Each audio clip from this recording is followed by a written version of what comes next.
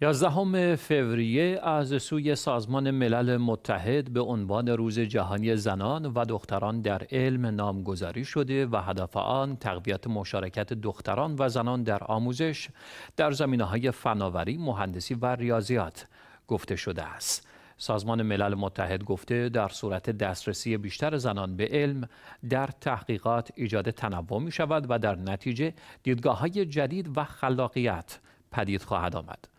بر پایه اطلاعات ارائه شده از سوی این سازمان زنان و دختران نقش مهمی در بخش علم و فناوری دارند و مشارکت آنان باید تقویت شود. در همین حال دفتر هماهنگی امور بشردوستانه سازمان ملل متحد بر اهمیت دسترسی کامل زنان و دختران به آموزش به ویژه در افغانستان که طالبان محدودیت های آموزشی علیه دختران را اعمال کرده اند تأکید کرده است.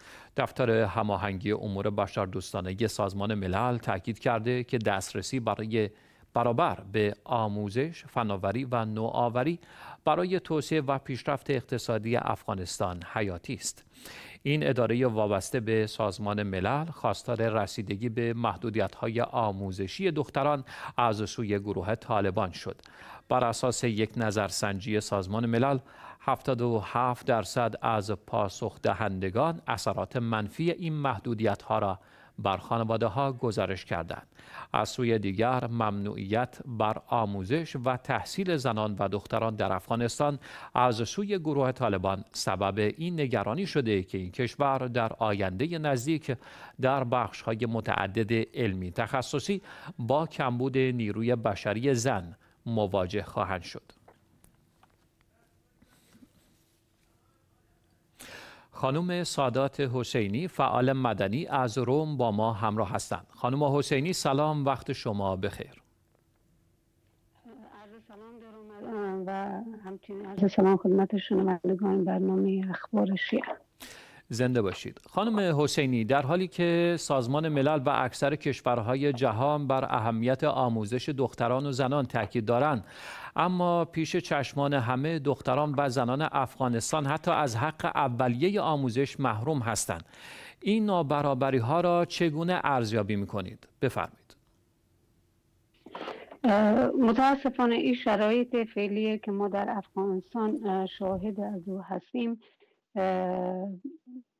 وضعیت واقعا ظالمانه نسبت به زنان هست. یک بخش کلی از جامعه یا نصفی از جامعه رو متاسفانه محروم کردن. چیزی رو که توقع میره از نهادهای ملی نهادهای بین المللی خصوصا قدنامه 325 شورای امنیت که در قسمت صلح و امنیت مطرح می‌کنه که از خانم ها حفاظت باید صورت بگیره و همچنین قطنامه دیگری که وجود داره در قسمت از حمایت از زنان. روز روز از جایی که وضعیت زنان در خاور میانه خصوصا در افغانستان بهتر شود متاسفانه با تصویب قوانین های و قطنامه های مختلفی که نسبت به وضعیت زنان تصویب میشه جنبه عملی یا وضعیت بهتر نسبت به وضعیت زنان ما متاسفانه نیستیم. مثلا قدنامه 2242 شورای امنیت به خاطر تطبیق قدنامه 325 می مطرح می‌کنه. قدنامه 2493 هم باز می تاکید می‌کنه که ما ای که سرای قدنامه 325 شورای امنیت هست. این مسئله را دوباره مطرح می‌کنه با بله. وجودش تمام قوانین ها متاسفانه ما شاهد از این وضعیت روز به روز بدتر شدن هستیم و حتی حاکمان فعلی هم که در افغانستان هستن اخیرا سرپرست وزارت معارف در مراسم تاکید بر اهمیت آموزش اصری کرده و تاکید کرده که بدون آموزش علوم عصری و توسعه و دفاع کشور امکان پذیر نیست بنابراین بله. یک از چیزهایی را که خود اونها هم متوجه شدن که اگر واقعا زنان دیده بگیرن بالاخره آسیب به کل کشور وارد بله خانم حسینی بله. بله. با وجود تقاضاهای مکرر جامعه جهانی و مردم افغانستان چرا طالبان تا کنون پاسخ مثبت نداده است خب ما متاسفانه شاهد کدام فشار واقعی بر این وضعیت نبودیم. کدام برنامه واقعا واضح نسبت به وضعیت حمایت از زنان نبودیم. فقط در حد یک اعلامی که آمدن اعلام کردن محکوم کردن. اما آنچه که قوانینی که بوده باید تطبیق بشده متاسفانه نشده. ما امروز نگاه می‌کنیم روابط دیپلماتیک وجود داره. درست شاید به عنوان یک حکومت یا به عنوان یک دولت نشناسن اما تمام روابط دیپلماتیک وجود داره. روابط اقتصادی وجود داره روابط تجارتی وجود داره. و هر کاری که دلشان می‌خواین انجام میدن. به صورتهای غیر مستقیم حمایت میشن.